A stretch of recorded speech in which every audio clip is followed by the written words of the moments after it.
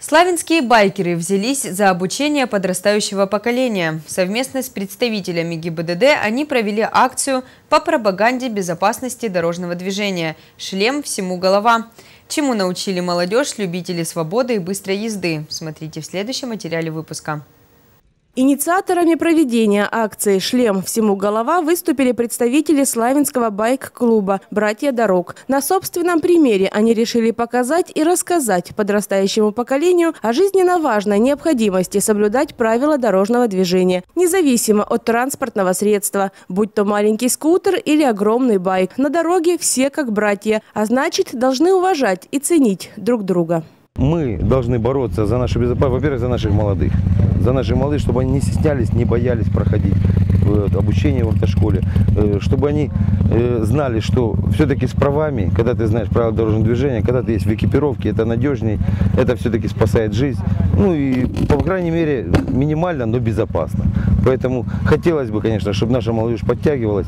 Вот. Ну а мы по мере своих сил будем развивать это движение. Акцию байкеров поддержали в Славянском ГИБДД в связи с высокой аварийностью на дорогах, в том числе и с участием несовершеннолетних. Еще раз напомнить о правилах дорожного движения никому не помешает. Байкеры Славянска на Кубани, так же как и госавтоинспекция, обеспокоены наличием мотошлемов и также аварийностью среди водителей мототранспорта. Всем известно, что ДТП с участием мототранспорта приносят самые тяжкие последствия, особенно неиспользование мотошлемов участниками дорожного движения. А также водители не имеют водительских удостоверений, некоторые наши участники. Ну и как всегда получается тяжкие последствия из-за этого.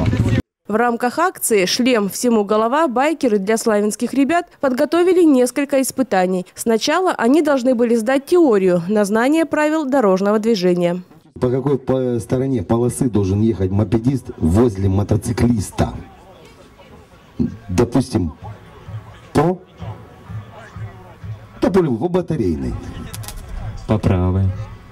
От мотоциклиста. От мотоциклиста по правой. Молодец, это два правильных ответа. По крайней правой. Засчитали. После теории приступили к практике. Юным мотоводителям необходимо было продемонстрировать умение управлять своим железным конем. Одно из испытаний – так называемая «змейка».